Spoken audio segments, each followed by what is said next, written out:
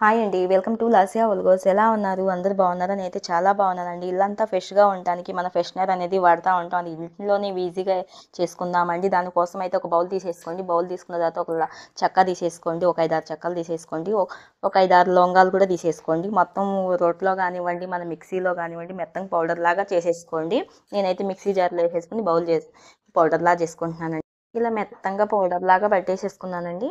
ఇలా మొత్తం ఇలా వేసేసుకున్నాను. రెండు కర్పూరం బీడల్ని పౌడర్ చేసేసి మొత్తం దీంట్లో వేసేసుకోండి. ఇలా మెత్తంగా పౌడర్ లాగా. మీకు నచ్చిన ఆయిల్ ఏదైనా సరే ఇలా వేసేసుకోవచ్చండి. నేనైతే కొద్దిగా కొబ్బరి నూనె వేసేసుకుంటున్నాను. యాప నూనె వేసుకుంటే ఇంకా మంచిదండి. దోమలు కూడా అస్సలు రావు ఇంట్లో. ఇది మొత్తం ఒకసారి బాగా మిక్స్ చేసేసేయండి. కలిసిపోయేలాగా. దీంట్లో ఇప్పుడు కొద్దిగా వాటర్ పోసుకోండి. ఎక్కువ పోసుకోవద్దు. కొద్దిగా అంటే కొద్దిగానండి. ఇలా పోసేసుకొని బాగా మిక్స్ చేసేసేయండి. ఇలా కలిపేసుకున్నాం కదా మనం ఇలా ఆల్అవుట్ తీసేసుకోండి. మన దగ్గర ఆల్అవుట్స్ ఉంటాయి కదా మనకి దీంట్లో మొత్తం ఇలా పోసేసేయండి బనల్స్లో. వాటర్ కింద పడకుండా మొత్తం దీంట్లో పోసేసేయండి. ఆ స్మెల్ కూడా మనకి మంచి స్మెల్ ఫ్లేవర్ని కూడా ఇస్తుందండి రూమ్ అంతా. ఇలా మొత్తం వేసేసిన తర్వాత ఈ ఆలోట్లో మనం ఈ రిపుల్ అనేది పెట్టేసుకోవాలండి దీన్ని. ఇలా పెట్టేసేసుకోండి. వాటర్ అనేది అస్సలు ఎక్కువ వేసుకోకూడదండి మనకి. చూసుకొని వేసుకోవాలి. ఇప్పుడు దీన్ని బిగించేసుకోండి ఆల్ అవుట్కి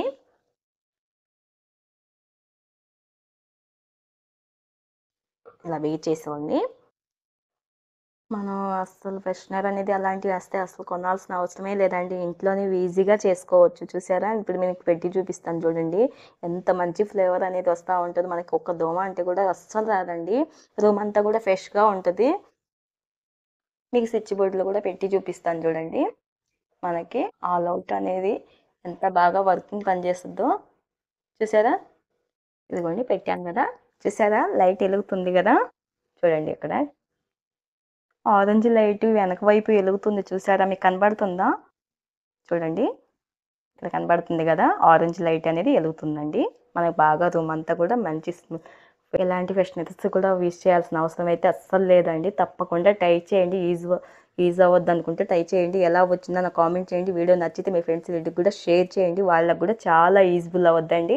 నా ఛానల్ సబ్స్క్రైబ్ చేసుకోండి. వీడియో చూస్తానే ఒక లైక్ అయితే ఇవ్వండి ఫ్రెండ్స్ చాలా ఈజీగా ఇంట్లోనే ఫ్రెషనర్ అనేది చేసుకోవచ్చు. మనం ఎలాంటి లిక్విడ్ కూడా మనం చాలా ఆల్అవుట్స్ కూడా యూజ్ చేయాల్సిన అవసరం లేదండి.